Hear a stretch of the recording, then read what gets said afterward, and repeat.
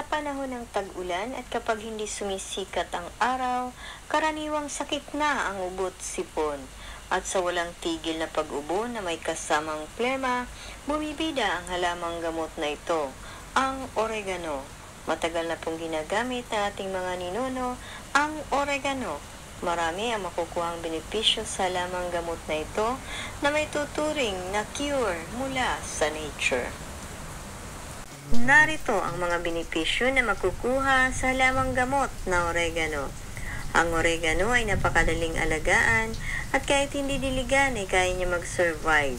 Kahit saan lugar siya itanim, ito ay mabubuhay at madaling paramihin.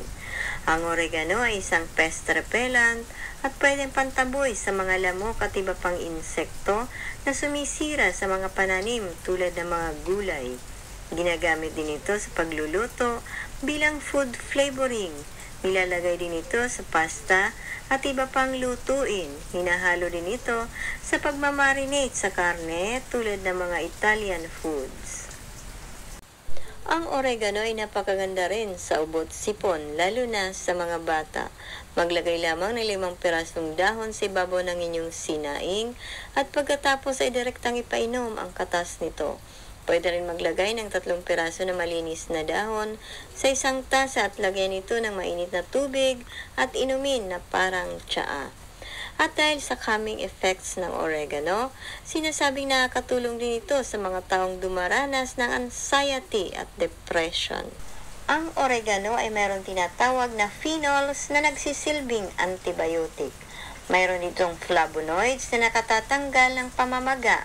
Kaya, kung sumasakit ang mga kasukasuan tulad ng rayuma, ay pwedeng itapal ang dinikdik na dahon ng oregano at sabay nito ng pag-inom ng katas nito. Ang oregano ay maganda rin na panlaban sa mga bakterya. Mayroon itong katangian, antifungal at anti-cancer properties. Ang katas ng oregano ay niyahalo din sa langis at pwedeng ipangmasahe sa katawan. Napakarami ang kakayahan o health benefits na makukuha sa oregano. Kaya i-treasure po natin ang halamang gamot na ito dahil bukod sa ito ay libre na, ito po ay herbal at all natural. Salamat po sa panonood. Ingatan kayo lagi ng Diyos. Paalam!